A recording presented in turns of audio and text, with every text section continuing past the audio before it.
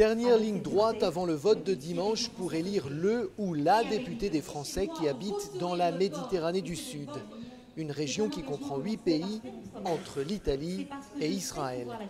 La candidate de l'UMP, Valérie Offenberg, est arrivée en tête lors du premier tour qui a vu l'élimination sans appel du camp socialiste. Je serai votre porte-voix, je défendrai vos intérêts auprès du, du gouvernement socialiste pour vous défendre avec le groupe UMP.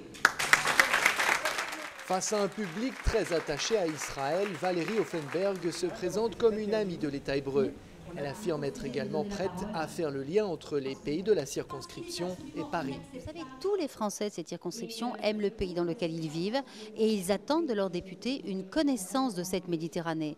La huitième circonscription est au cœur de la crise européenne et euh, ce rôle de député sera fondamental pour aussi ouvrir un petit peu l'Assemblée nationale à la compréhension de ce qui se passe dans cette Méditerranée. Le concurrent centriste, Maire Habib, se pose en alternative au grand parti et face aux demandes des électeurs, ses promesses sont simples. J'espère que vous allez faire beaucoup de choses pour nous, les Français de Natania, parce qu'on n'a personne qui nous représente. Ne vous inquiétez pas, on, on fera le maximum de ce qui est possible. Maire Habib mise beaucoup sur son réseau en Israël pour faire la différence dans une course très serrée.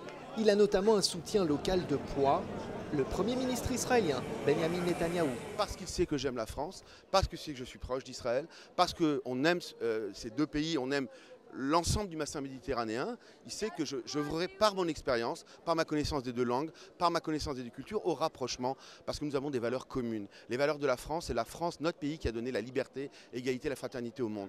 Mobiliser ces électeurs potentiels reste le principal défi des candidats. Lors du premier tour, le taux de participation a à peine franchi la barre des 10% dans la huitième circonscription.